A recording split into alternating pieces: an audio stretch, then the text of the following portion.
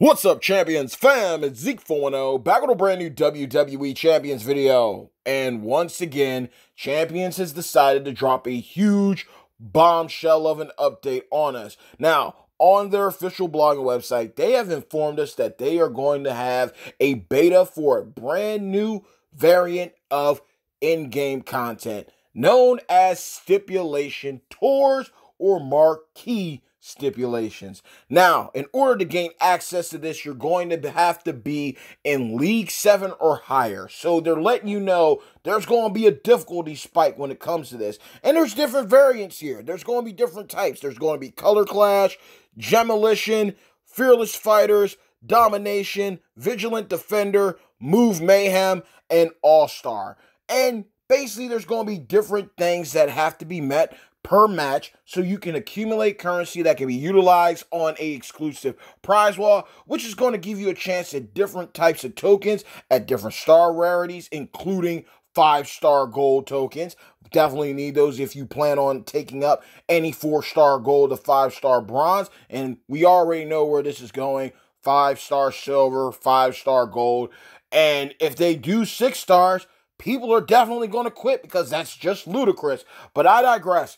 The point is, this is going to be some challenging content. When I think about what they're trying to do here, it makes me think of Fate Grand Order's Challenge Quest. It makes me think about Pirate Rumble for One Piece Treasure Cruise, as well as Super Battle Road for Dragon Ball Dokkan Battle. So I'm all for a challenge. And you know what? They've been switching things up with October 2020's Zombie Apocalypse MLC. We saw the return of the survival mode matches. Might not see invasions anytime soon, but at least we're getting an alternative way to play the game. And I honestly think this is going to be like for big brain players. This isn't going to be content that you just focus in on, oh, max out perks maxed out straps and medals. I'm going to turn this. No, there's going to be certain requirements that are going to have to be met in order for you to maximize your points and your scores so you can go and get the job done.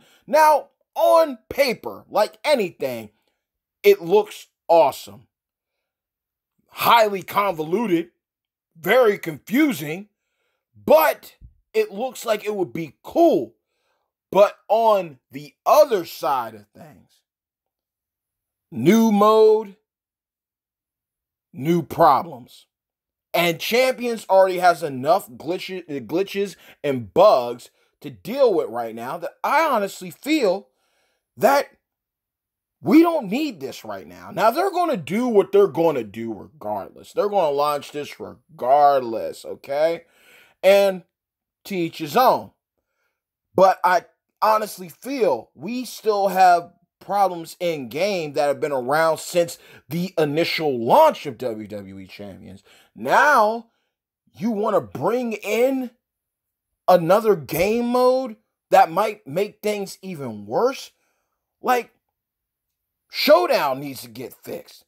We still have visual glitches and bugs for different types of gems that are utilized within matches, and there's a boatload of problems that should be resolved before they even think about bringing in a new format of gameplay. And that's just me. Now, anybody else can write it off. They're going to be happy, you know?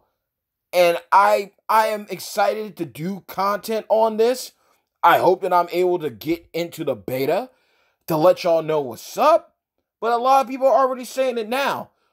Well, looking at how things are going with the entry and the time block right there, that's one thing. And who knows? Maybe, I mean, I dig it if you got something that's time sensitive so you can get in and get out.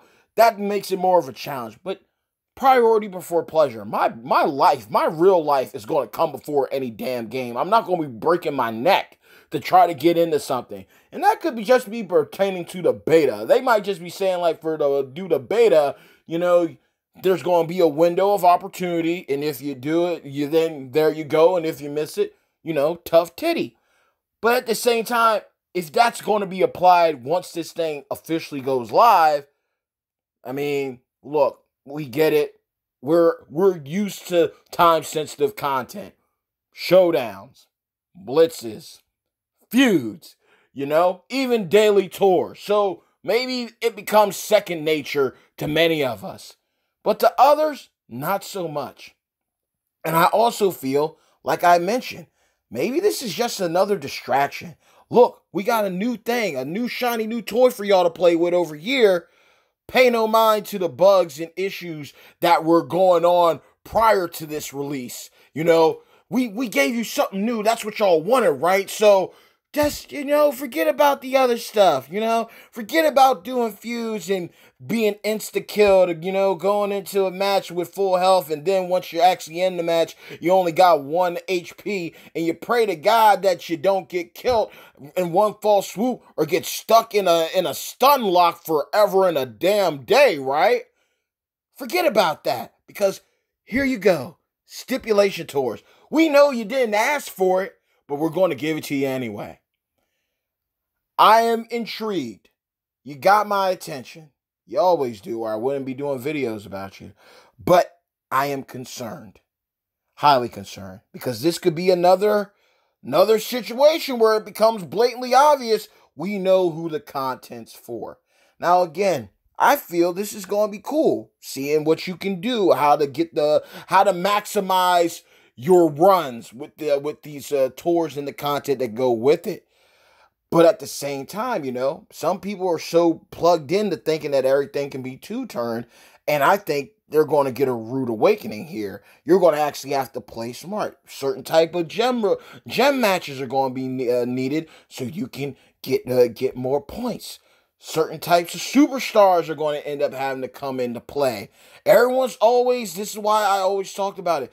We always got a tier list for offensive champions. Oh, Hogan just runs through everybody. No one ever sits back and thinks about defensive units. Nobody. No one ever does. Like, it's just the God honest truth. No one ever thinks about, hey, maybe I'm going to have to utilize, you know, Tech Bret Hart, Botch Gems Galore. Maybe he's going to be the one that saves my ass. Or maybe I'm going to have to utilize someone that does silence gems. Like, yeah, I'll get get hit by damage, but they're not unloading a crazy Zawal Cardo on me and walking away with mad uh, mad moves loaded up, ready to kill me the next turn. Some things are just going to be interesting. Now, this is going to be something that I also want to look to see. Maybe the the um stun straps play a crucial role in some types of the content here, buying you a little time. Maybe you're going to have to take somebody who's making cascades RNG with the random gems compared to you going in thinking, oh, I'm just going to use the choose gem guy or girl to get through this, and boom, and then you mess up on one of the requirements. There's going to be some big brain thinking here. It isn't just going to be a thing of maxed out straps, maxed out medals, maxed out perks, running through everybody. I mean, look, more than likely with how they got this other setup going on where you have to choose certain champions that are required to give you other types of boosts it might be taking gameplay to another level that be that could be quite quite confusing i feel like champions is trying to go and ascend to another meta that it's not ready to properly be at like you can put things in place for something to be the to be something else. But if you don't have everything in unison, everything working as one, you're going to fall flat on your face. So I look forward to seeing how this goes. I look forward to seeing what the Broskis and many other champion content creators have to say about this or how they go about it if they're able to get into this beta. Um I'm looking forward to seeing uh, and hearing about the information that you know, applies to this moving forward.